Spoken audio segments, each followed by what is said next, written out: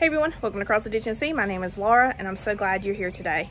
I wanted to hop on and do a quick video on transplanting tomatoes. Um, tomatoes grow well in pots. They also grow well in the ground. Where I live, my soil is super sandy, so I grow all my tomatoes in pots. So I'm gonna show you how to do that and how to um, trellis your tomatoes as they grow. Like I said, we are going to talk tomatoes today and this little guy needs to be staked up, but it is starting to rain, so we're definitely going to make this a very, very quick video. So, um, I have a lot of tomatoes that I started in my house, and we are going to put them into pots. And I use five gallon planter pots or five gallon nursery pots to plant my tomatoes in. And I just use a standard potting soil. Um, whatever potting soil you can afford just use it. It don't it doesn't matter if it's organic or inorganic. Um, just use what you can because I want everyone to garden. All right so here I have my tomato planted and I'm going to show you how I planted this tomato in this pot in order to get the most um, root structure I possibly could so I have a five gallon nursery pot like I mentioned here. I have pot and soil in it about three quarters of the way up. I have my great big old tomato plant here and I will show you how I'm going to prune this prior to planting. All right, so here we have my tomato that I call my compost tomato because it grew in my compost bin last year. And I isolated some of the blossoms and saved some seeds from it, which I'll share about that in future videos. However, I want to pot this tomato into my nursery pots so it can continue to grow. And what I'm gonna do is I'm gonna prune these lower branches and these suckers off, just like you've seen me do in the past with up potting. So I'm gonna take my label out and I'm just going to pinch these little branches off the side, just like so. And if they're a little bit too thick to pinch without causing damage to the stem, which means like making the stem peel down, you can use a pair of scissors or um, some prunes, some uh, like pruning shears. But I just take my fingernail, break it off, and there we go.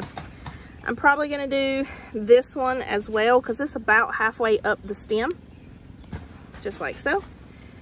So the bottom half is branch free and the top half has several branches. I have a little bit of sun scald on my plant.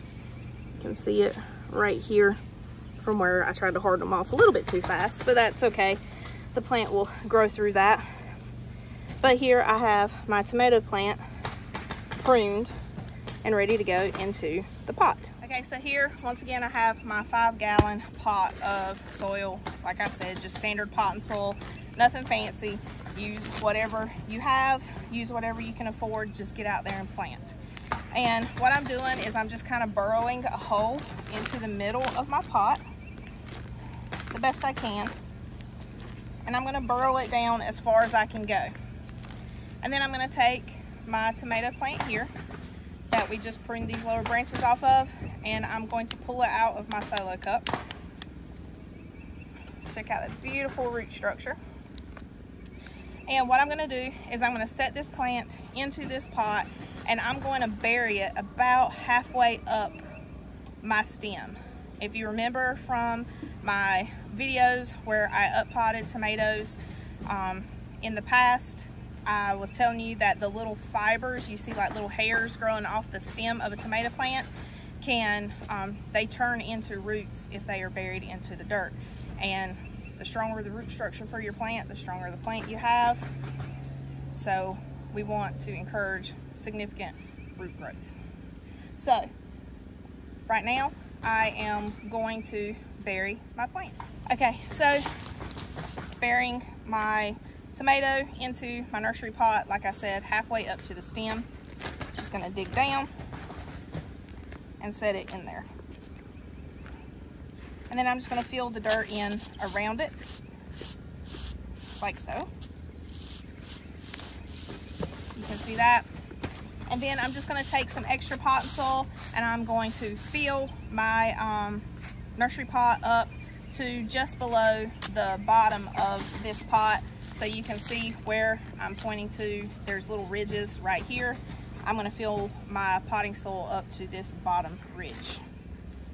Just so we bury as much of that stem as we can in dirt.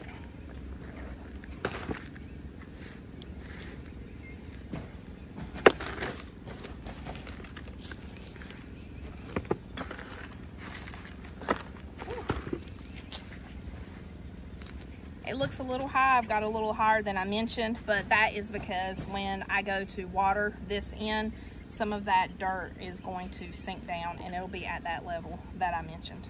So there we go.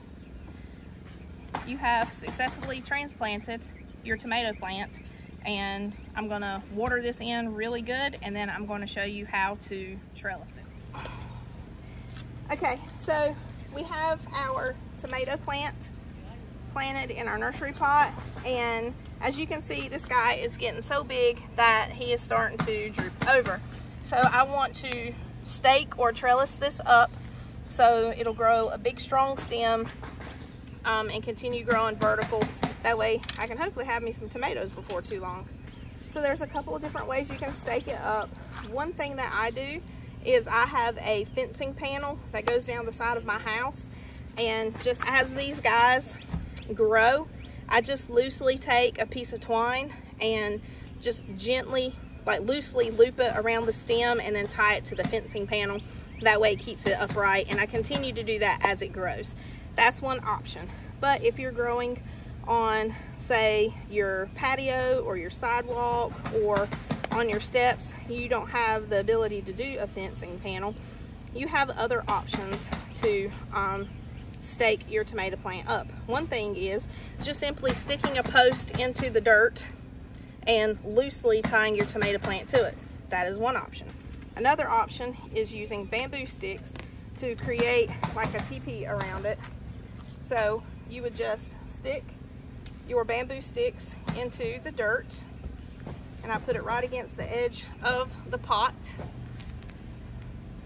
and you just want to form like a triangle shape trying to stick my thicker ends of the bamboo stick into the pot the best I can. Get as deep as I can.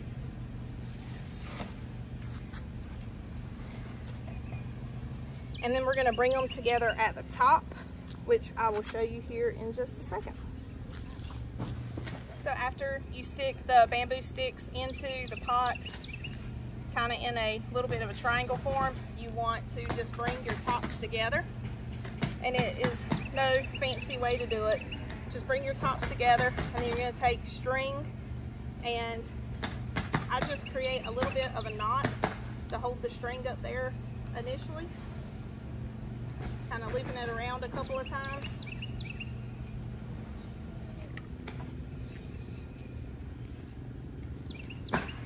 And then I'll take the rest of my string and just kind of twist it around the top of my sticks a few times, kind of um, intertwining it through each of the sticks. So it's kind of like braiding it through just to hold them together a little bit better and bringing it up. And once you do that a few times and you feel like it's pretty secure tied off,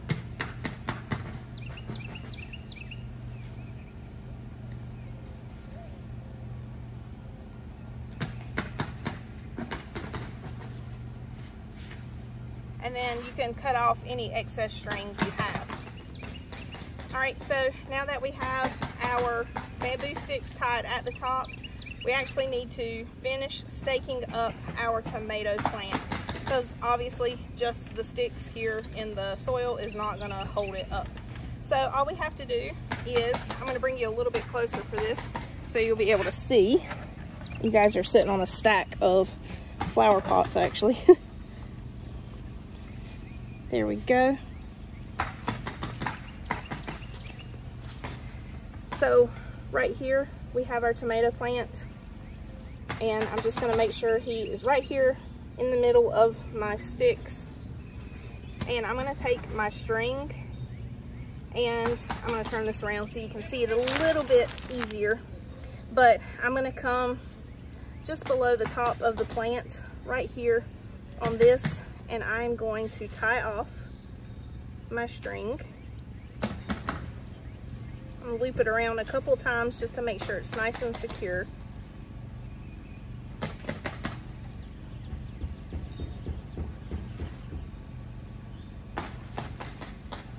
Like so. And then what I'll do is I'll go around to each stick and I'll take my string and I will just twist it around the stick and I'm going to do it a couple of times. And I'm going to pull it kind of tight. That way the string stays pretty firm. And I'm going to do the same thing going all the way around my plant. And I'm going to lift my branches up over or at least the ones that are tall enough up over my string that way it'll start to support the plant so if I do my string like this, it's gonna pull my branch in. So I'm just gonna lift the branch up over my string. And then here, I'll come back, pull it, put it in line with this first one, and kind of loop it around a few times just to kind of braid it in there. And then we will tie it off. And then we'll just trim the excess string. You can use twine or jute whatever you have laying around.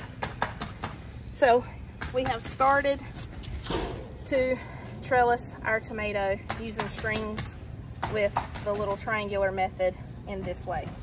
And then as the tomato plant grows taller, you'll just do it, I'd say maybe every six to eight, six to eight inches. Do this again. That way, as it grows, it'll just keep um, the plant upright. You can also use this method if you're growing like cucumbers in pots. Um, you can use the same method to help trellis the cucumber and give the cucumber vine little um, strings for its trindles to grab hold of so it'll climb it up as well. But here is one way to stake up your tomato plant so you can grow in a container because you don't have to live in the country and like I keep saying, you don't have to have a bunch of land to grow food for you and your family. All you need is some dirt, some water, some sunshine, and some seed or seedling and a pot like this, which does not cost much at all. And you can grow food for you and your family. A single tomato plant puts off a lot of tomatoes. People would be surprised how many tomatoes you get.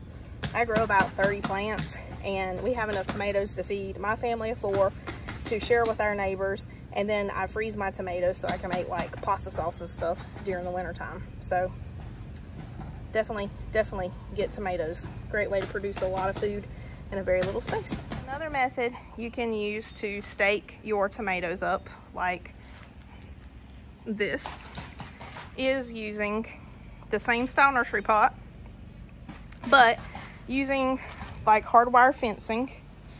You can buy a roll of this at hardware stores, at Lowe's, Tractor Supply. Um, I think I got a 75 foot roll for like, oh gosh, I think it was like 30 or 40 bucks. And this is using maybe a two foot section of it, if even that, maybe more like 18 inches. But um, you cut off enough of the fencing to make a half of a circle and then you put it into an empty nursery pot, a flower pot, whatever you're using. You can also put it in the ground in your garden.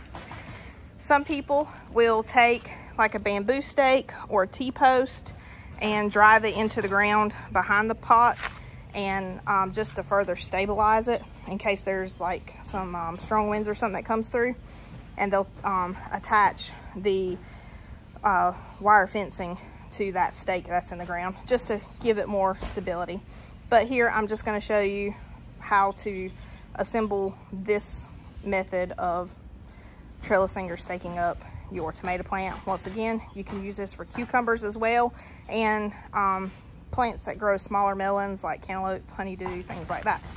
But like I said, I cut off enough of the fencing to create a half circle into my nursery pot. It's actually a little bit more than half circle.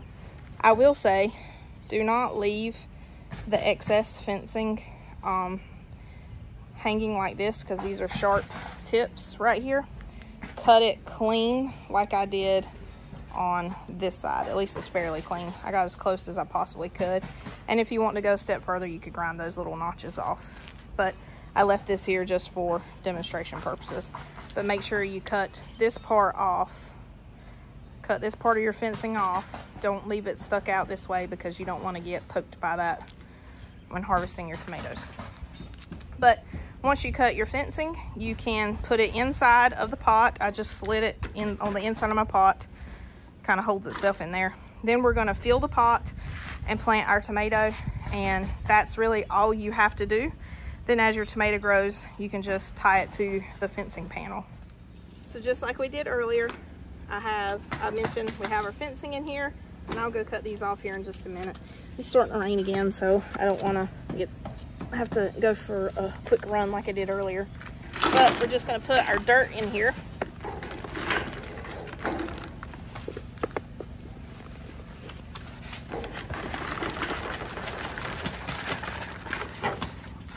Got filled a little over halfway up. Get my tomato.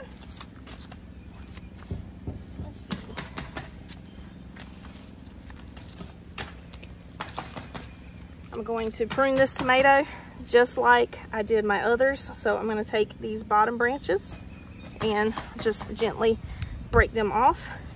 I'm going to do these two like so. That way we have a nice stalk to bury.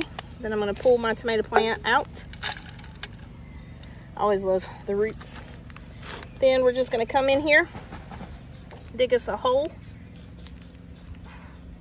bury our tomato. And then we'll fill in around it with dirt.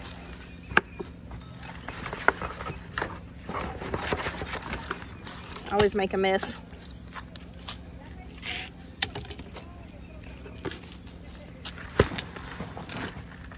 Is there such thing as a clean gardener? I have no idea. I am not very tidy. If you looked under my carport right now, is full of potting soil. But we're gonna do just like we did our other tomato plant. We're gonna bury the stem and we're gonna fill it just about to the top of our pot and water it in really well.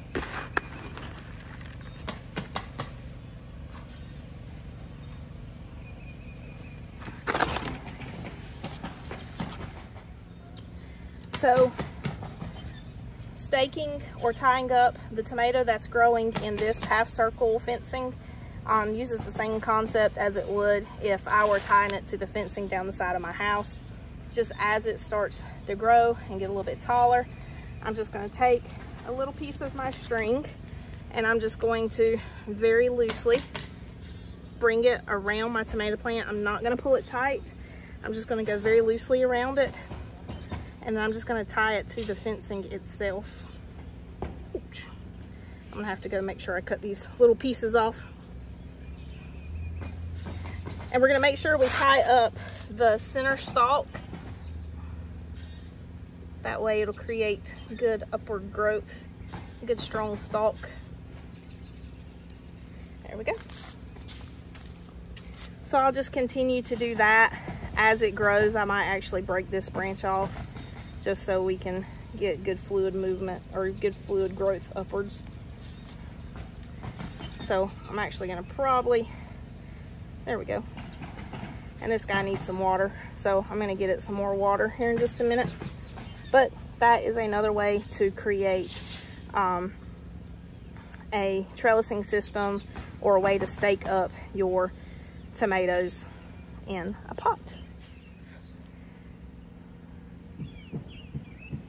That, my friends, is why you want to cut those extra pieces off of your fencing because if you don't, you'll end up cutting yourself. So, whew, this is a heavy tomato. I'm gonna have to set you guys down. Ooh, there we go. All right, it's heavy because I watered it. Um, so I'm taking my tomato down to the side of my house to just show you what I was talking about with the fence going down the side of my house. So here, check that out. My potatoes are growing quite well. Ignore the grass growing up in here. I've got to get in here and pull it. But I'm gonna come right here. Try not to fall over the fence. and just show you what I'm talking about. So, during the summertime, I have tomatoes going down the side of my house where I have some T-post driven into the ground and chicken wire zip tied to it, like legit. You don't have to buy fancy metal ties. You can use zip ties if you want to. But I have my tomatoes lined up in their nursery pots down the side of the house at the base of the fence.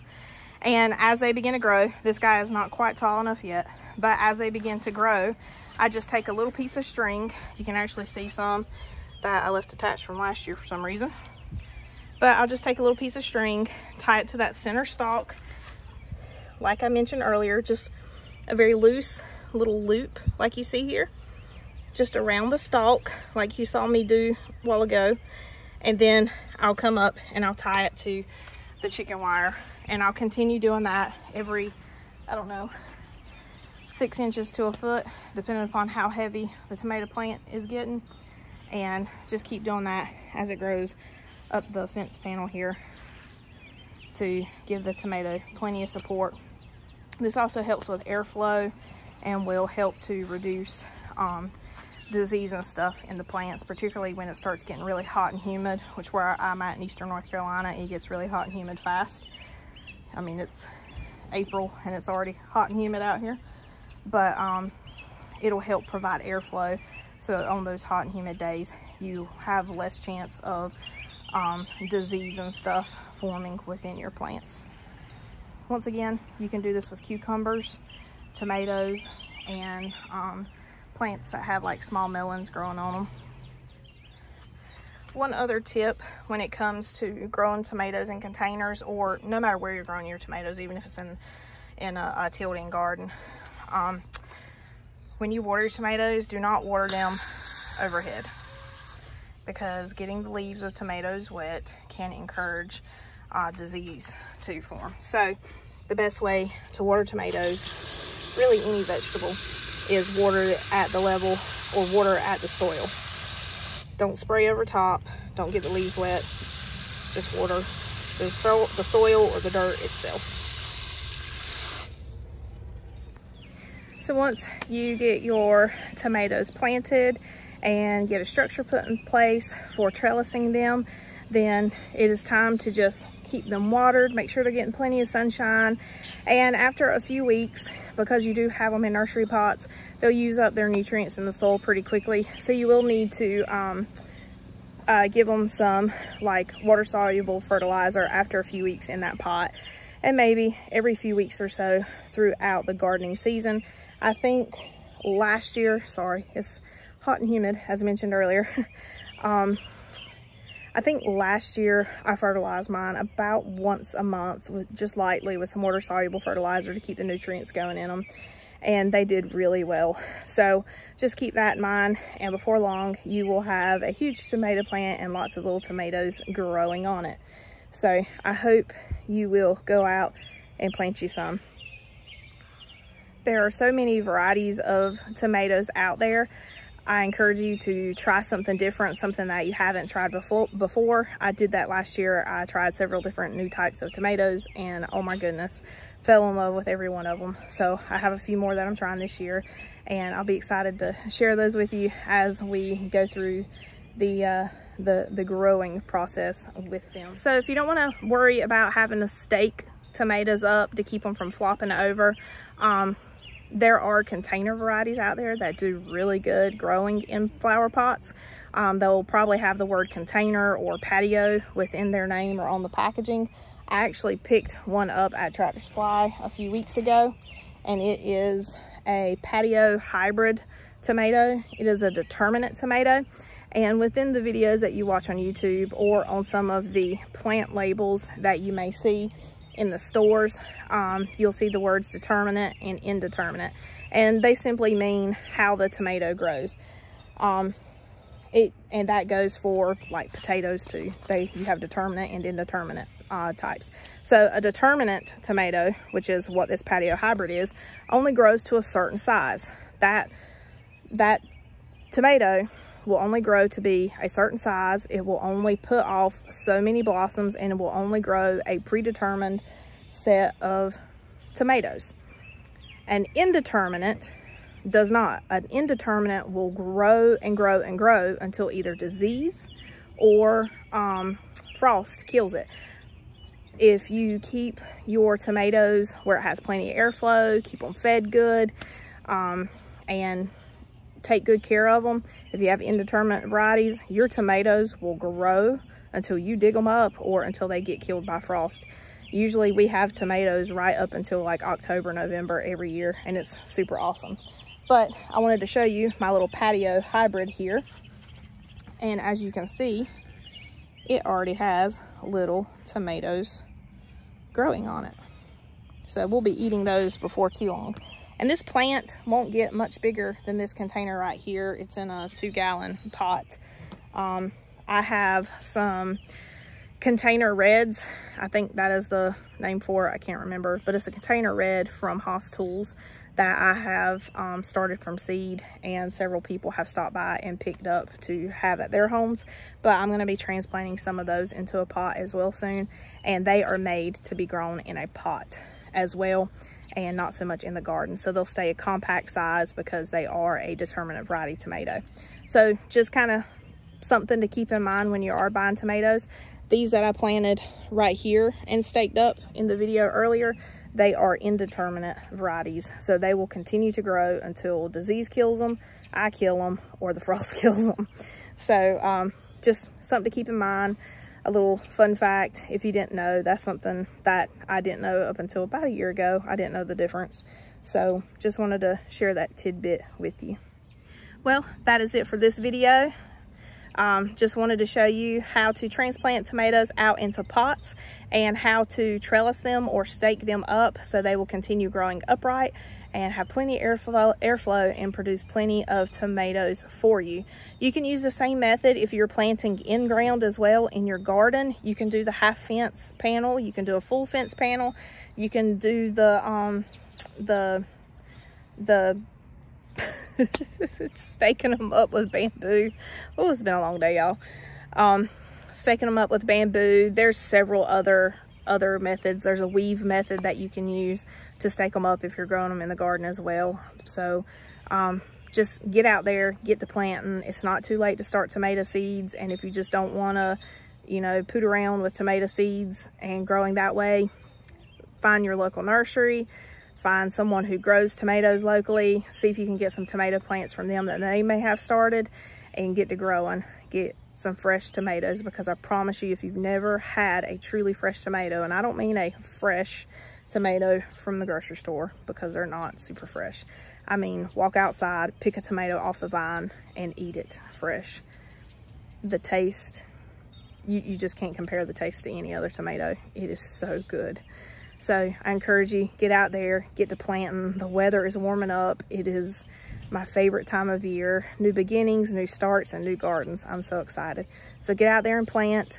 And if you decide to plant some tomatoes, keep me posted on your progress. Let me know what varieties you have tried. And because I'm always looking to try new varieties and I love hearing other people what they try and what they like. So let me know what you're planting this year as well. Thank you so much for joining me. I hope you have a blessed day. I hope you come back to see me again.